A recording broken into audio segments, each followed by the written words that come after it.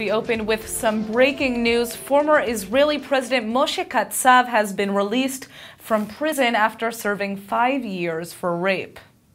The disgraced leader was supposed to serve seven years in jail but appealed several times for early release. His initial attempts were rejected because of his failure to show remorse for his actions. But now the parole board claims that he has expressed regret. Last week, the former leader allegedly admitted that he had behaved inappropriately towards the women that accused him of sexual assault, and he even broke down in tears.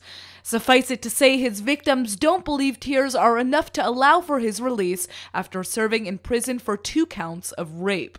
The state prosecution says it will not appeal the decision to release Katsav, and it's unlikely that the Supreme Court will have success in appealing the move. Prison officers claim Katsav behaved impeccably in prison. And now that he's been released, the former leader must continue to check in with a parole officer and attend a rehabilitation program and therapy. He's also forbidden from speaking to the media.